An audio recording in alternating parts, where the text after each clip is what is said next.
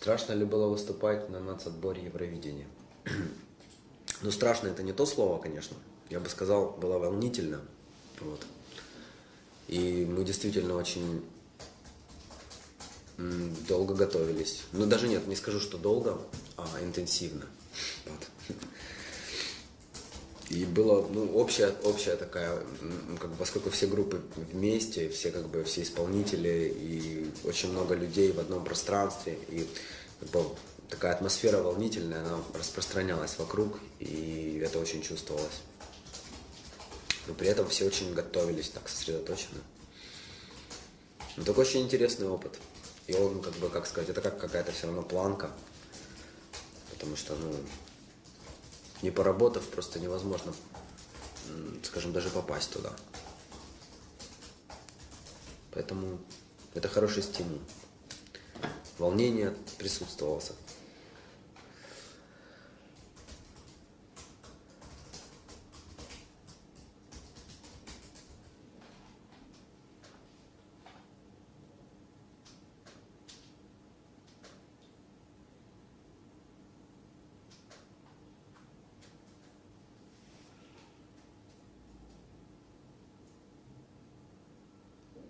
Верите ли вы в чудеса? Если да, что стало причиной этому? Ну, я видел очень много вещей, выходящих за рамки привычного, скажем так.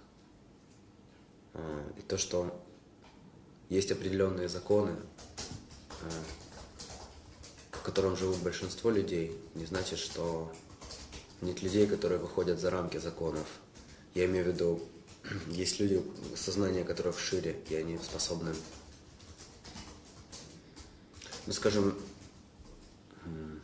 интуитивно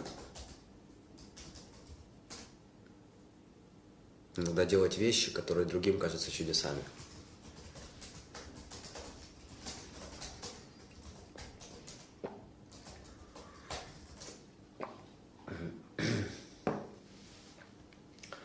Как вам работается с Сергеем Бабкиным? Возникают ли творческие споры? Если да, то как приходите к консенсусу? Консенсус? Да, это интересный вопрос. А, мы с Серегой, у нас есть всегда два разных мнения на все, и они никогда почти не совпадают. Но в этом, в этом и наша сила. Что если мы находим какое-то общее решение и делаем вместе музыку, она не может быть на 100% такой, как я хочу, и на 100% такой, как хочет Сережа. Получается нечто среднее, и мы всегда приходим к этому среднему. И Именно в этом уникальность нашего проекта, как «Пятница». Вот. Ну, с ним работать очень интересно, потому что он всегда приносит много-много-много разных идей. Вот. А я, скажу, у меня есть ощущение, что отбросить, что оставить и что добавить куда. Но часто от него исходит изначальная идея. Последнее время мы делаем много именно в таком режиме. То есть как бы он приходит с идеей, мы ее вместе дорабатываем, я добавляю что-то в его идеи, часто так. Но бывало так, что идеи приходят спонтанно, когда мы собираемся, так тоже может быть.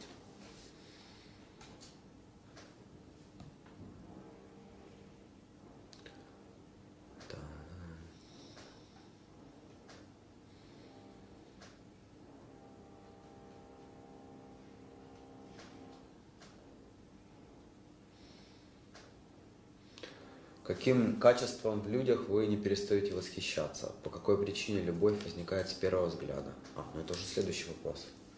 Для вас слово «любовь». Спасибо за ответы. О, вот это очень-очень большой и обширный вопрос, который можно попробовать выразить. Я имею в виду, если говорить о любви. А, но любовь это то, что выразить в полной мере невозможно словами. Мы можем сравнивать любовь с чем-то или передать какие-то аспекты любви, но это понятие выходит за рамки любых слов. Когда человек это чувствует и переживает, только тогда он понимает, что это.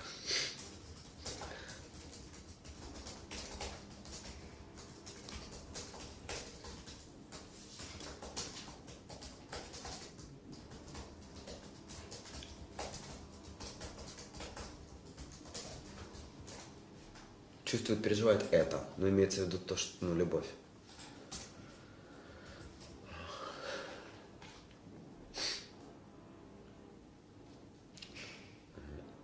Так, что вы хотите донести публике песни Love Manifest? А, ну, это как раз, опять же, к, к предыдущему вопросу о любви. А. Песня о принятии людей и непохожих, о принятии всего этого мира, который нас, ну, в котором нам бывает трудно.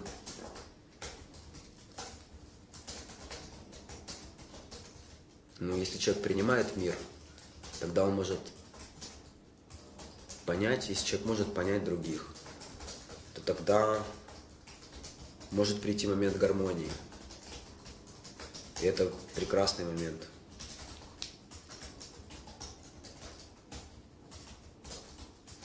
Общем-то, счастлив человек, когда он сливается со всем, что вокруг, чувствует себя гармонично.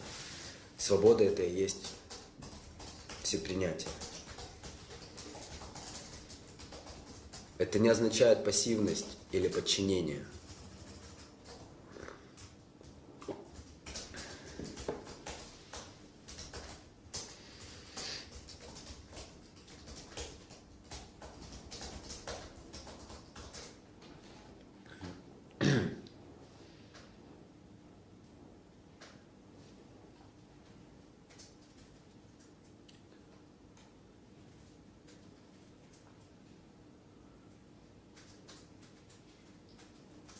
Вот вопрос. А, мне очень понравилось выступление сенсея, как же группа «Пятница». Почему приняли решение создать новый музыкальный проект? Ну, проект «Сенсей» существует уже 8 лет, просто, может, он не так заметен. И группа «Пятница» тоже сейчас существует, мы пишем новые песни, и у нас будут концерты.